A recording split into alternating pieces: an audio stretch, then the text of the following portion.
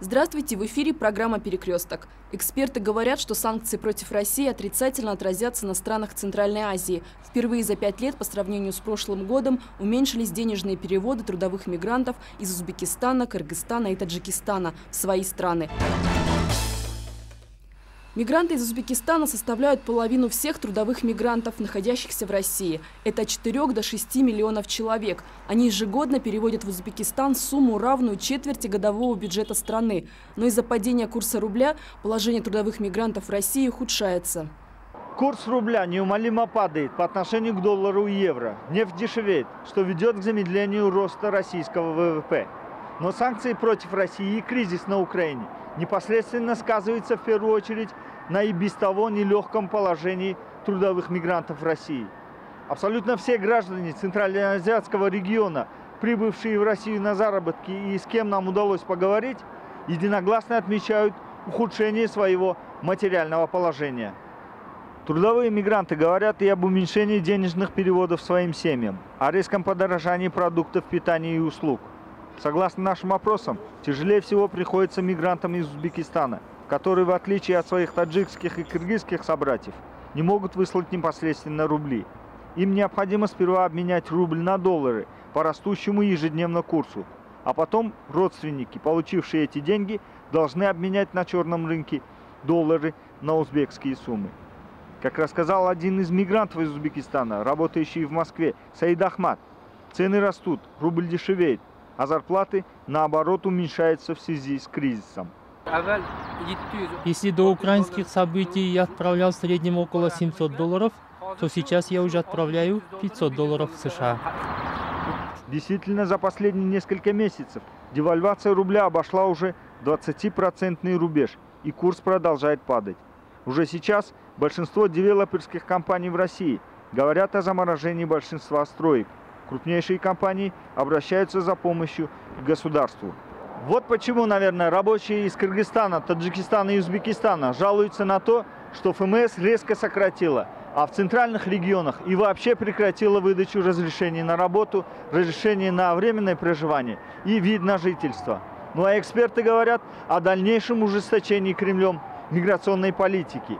Политики на уменьшение рабочей силы из региона Центральная Азия.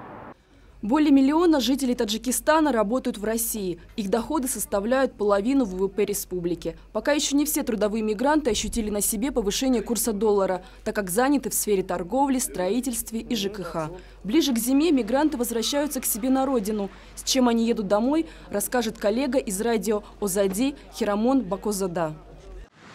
В этот октябрьский день очередной рейс из российского города доставил в Душамбе находившихся на заработках граждан Таджикистана. Родные рады встречи, трудовые мигранты подытоживают сезонные работы в России.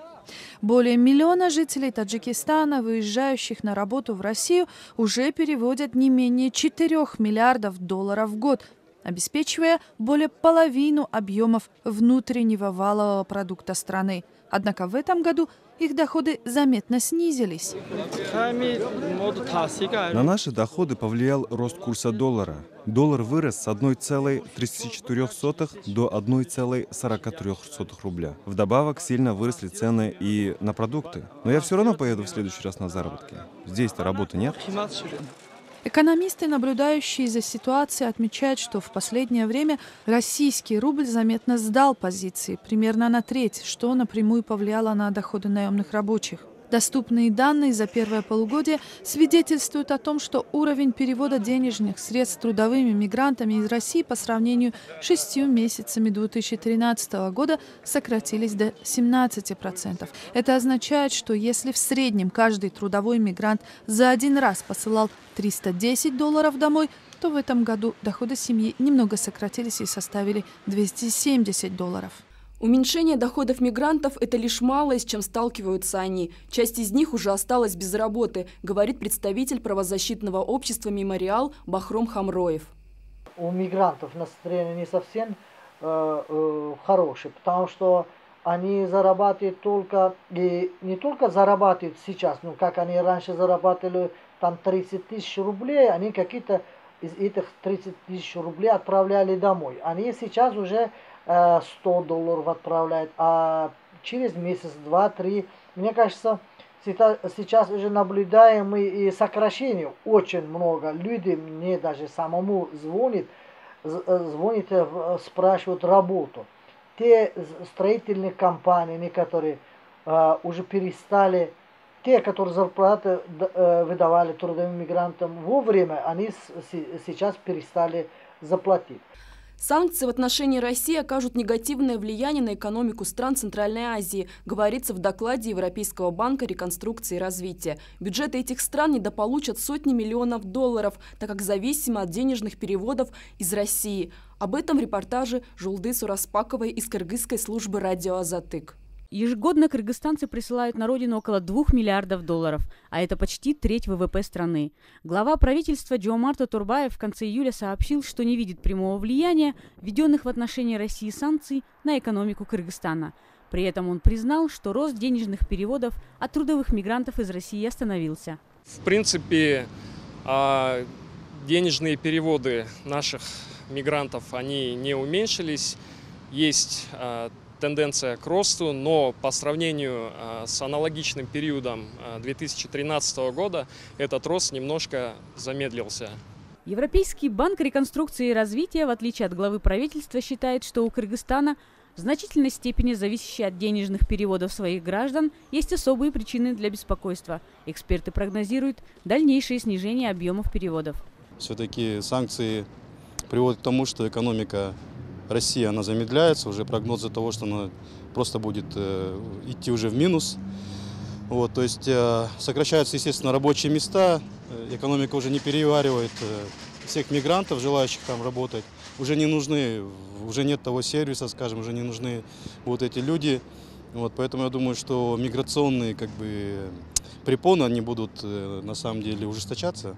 Власти Таджикистана уже начали готовиться и говорить о создании рабочих мест в стране, чтобы минимизировать воздействие санкций в отношении России на экономику Таджикистана. Мигранты начнут массово возвращаться и в Кыргызстан, предполагает Махсат Ищембаев. Однако при этом не видно, чтобы правительство к этому готовилось и прогнозировало последствия для экономики страны. Джилдыс Оруспакова, Джанар Джолдушпаев, Бишкек, Азаттык.